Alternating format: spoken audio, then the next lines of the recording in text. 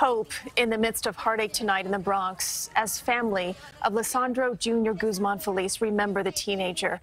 It was one year ago today that the 15-year-old was attacked and murdered by a group of gang members in the Bronx.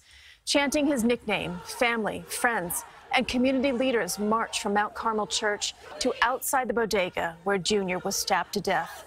His mother says that her sadness is eased by supporters. Feel happy for the support that I've been having and I've been receiving and seeing how the community and the world is loving my song. That's made me feel better. Last week, a jury convicted five gang members of murder.